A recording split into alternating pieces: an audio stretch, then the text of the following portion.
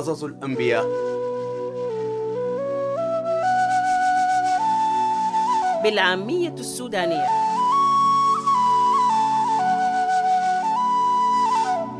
قصة سيدنا سليمان الحكيم عليه السلام.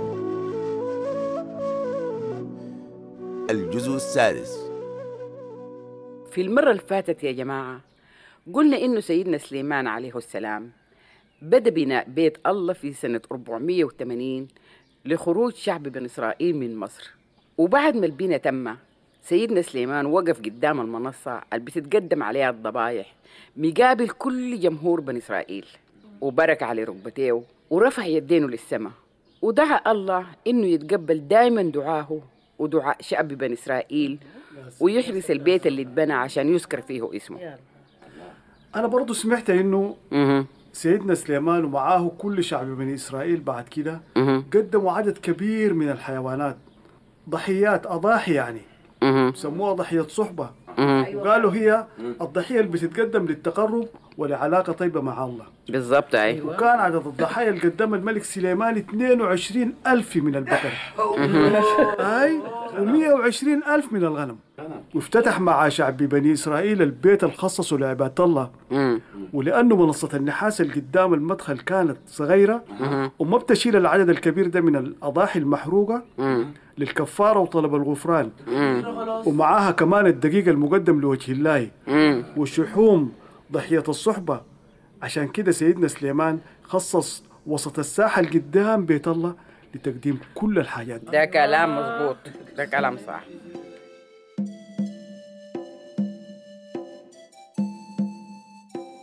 أها لما الملك سليمان. تم بناء بيت الله وبناء قصره وبناء كل المباني اللي كان عايز يبنيها. الله سبحانه وتعالى ظهر له مرة تانية في حلم. زي ما حصل قبل كده في جبعون وقال له يا سليمان أنا سمعت دعاك وجعلت البيت اللي انت بنيته ده مقدس عشان يذكر فيه اسمي وأنا ححرسه وأهتم به دايما في حالة طاعتكم لي ولكن إن بعدتوا عن طريقي انت وشعبك وذريتكم وما أطعتوا أحكامي وفرايدي اللي اديتها لكم ومشيتوا سجدتوا لآلهة أخرى وعبدتوها أنا حنفيكم من أرضكم اللي خصصت عليكم وخليكم تكونوا عزة وعبرة لكل الشعوب التانية. كمان البيت الفخم ده اللي أنا جعلته مقدس لإكرام اسمي ههجره لدرجة إنه يبقى خرابة وكل اللي بيشوفه يتحسر وينصدم. ويقول لي يا الله عمل كده للبلد دي وللبيت ده. وطبعا الرد حيكون لأنه أهل البلد عبدوا آلهة أخرى وسجدوا ليها ونسوا المولى ربهم الأشفق على أبواتهم وطلعهم من مصر. عشان كده الله غضب عليهم ونزل عليهم كل المصايب دي. وأما أنت يا سليمان إن اتبعت طريقي زي ما سار داود أبوك بقلب نقي سليم واستقامة وعملت بكل ما أمرتك بيه وطيعت أحكامي وفرايدي أنا حثبت حكمك وكمان حكم ذريتك من بعدك على شعب بني إسرائيل وللأبد. لأني وعدت أبوك داود وقلت له إنه الملك اللي حيحكم الشعب ده حيكون دايما واحد من ذريتك.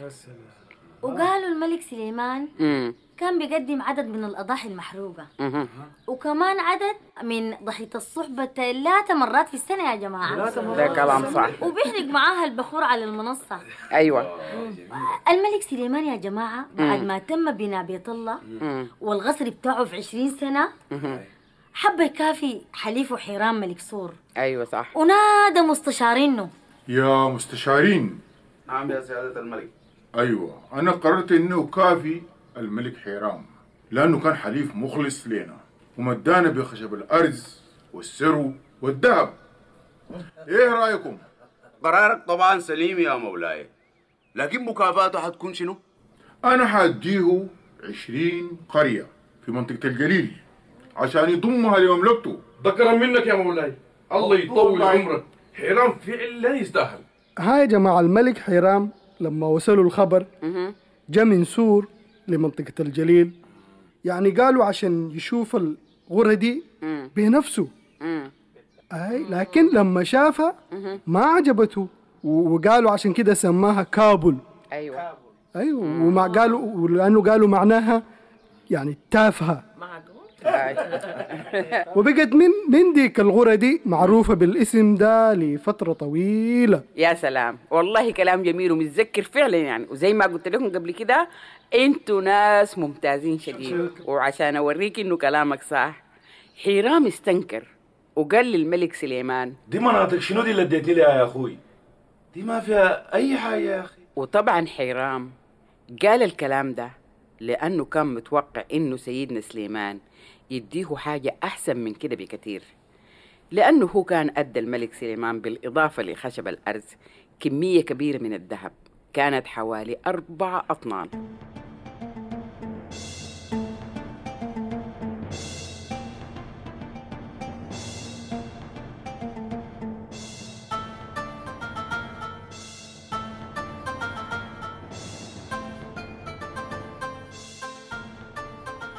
وأنا سمعت برضو إنه الملك سليمان قالوا نفذ عدد من المشروعات. استخدم فيها عمال السخرة والمشروعات دي كانت هي بناء بيت الله والقصر بتاعه وترميم وتوسيع سور مدينة القدس وبناء مدن كثيرة للمخازن والإمدادات ولخيوله ومركباته. إضافة لمدن حاصور ومجده البناهم تاني. وكمان جازر اللي كانت مدينة كنعانية بتبعد 30 كيلومتر. غرب مدينة القدس. المدينة دي فرعون كان هاجمها وحرقها وقتل سكانها كلهم.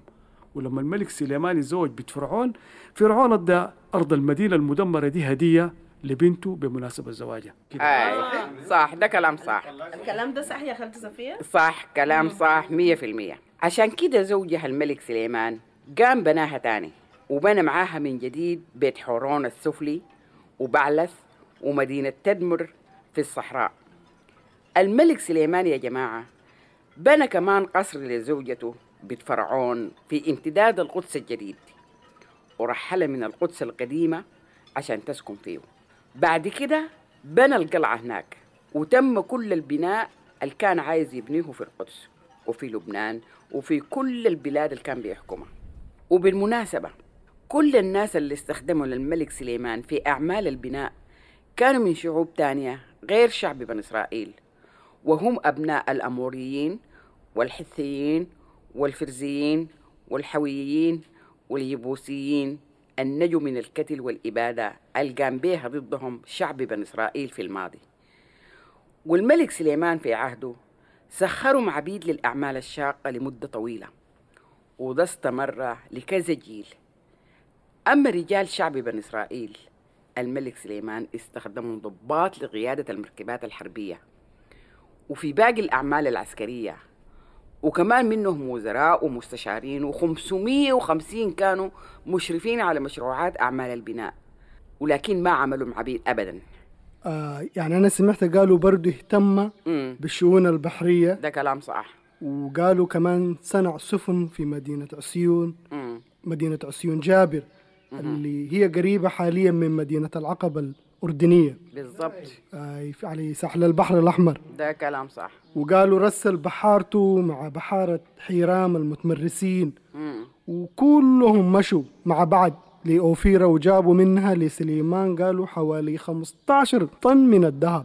بالضبط. أيوة. أيوة. أيوة. أي وكمية كمان قالوا كبيرة من مستلزمات الزينة الغيمة عيدان الصندل وأنا سمعت انه من عيدان الصندل دي مم. سيدنا سليمان عمل درابزين لقصره ولبيت الله. ده كلام صح. وعمل منها كمان آلات عود وربابات للعازفين والفنانين. مهم. وعيدان الصندل دي كان ما في زول شاف زيها وما كان في لها مثيل.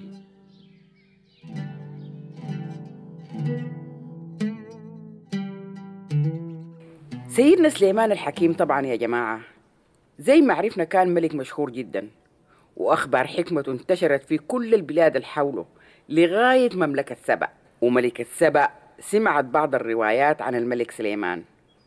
وفكرت تسافر للقدس وتشوف بنفسها عشان كده نادت واحد من مستشارينا وسألته يا مستشار نعم مولاتي.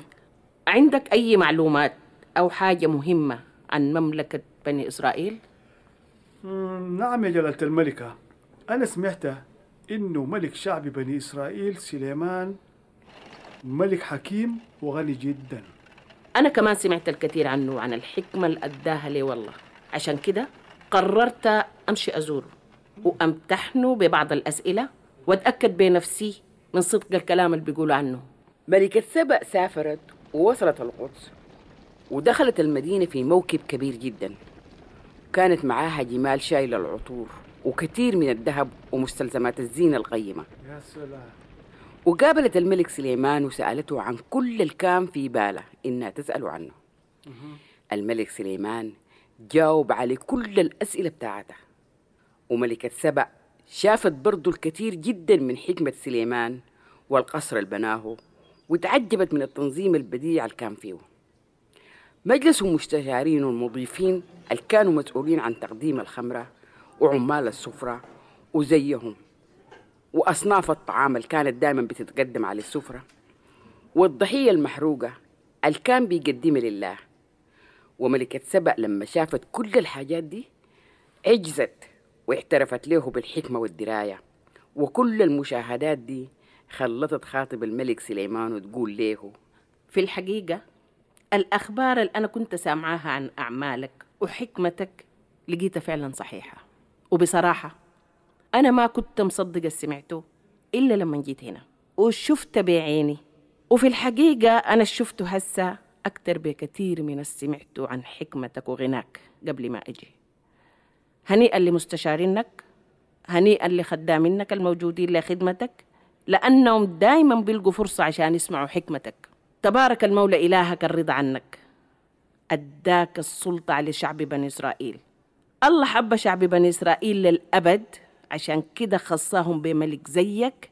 يحكمهم بالعدل والصلاح. يا سلام.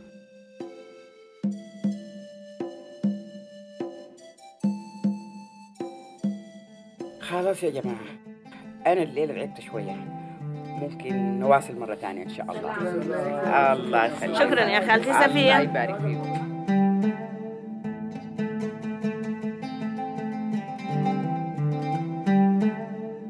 تحية زروق